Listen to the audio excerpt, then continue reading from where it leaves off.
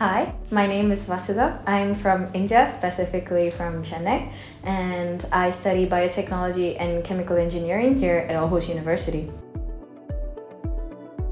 I chose Aarhus University because it seemed like the best option of all the places I applied to. When I came here to Aarhus, I realized that it has a very international feeling because of the number of students who live here, but it also sticks very closely to the Danish culture, so you get the best of both worlds. It's been really nice living here for a year now. My classes here at AU have been pretty good so far. The assignments aren't super easy, they're very research focused, but I think that's something I've grown to appreciate a lot.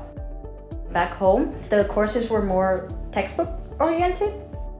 Here, they're more up to date and they focus more on ongoing research and they focus more on our presentation skills, which is also something I like a lot.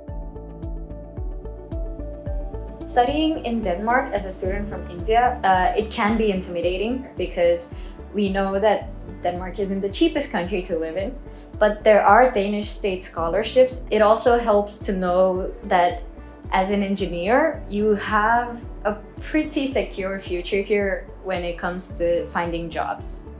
There's um, so many industries like Arla, for example, or Novo Nordisk, who have their headquarters here in Denmark you get to form direct connections and network to sort of get insights into how life would be after graduation and that's really nice.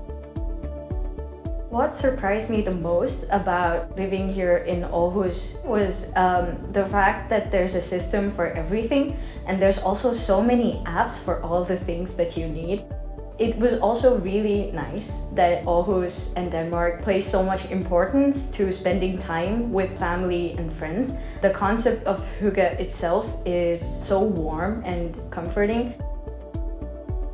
There was a program called Kickstart Your Stay in Denmark. All of my friends that I have now, at least my close inner circle of friends, are people that I met during the Kickstart program. So I would highly recommend doing that. Looking back, I'm very, very happy that I chose Aarhus.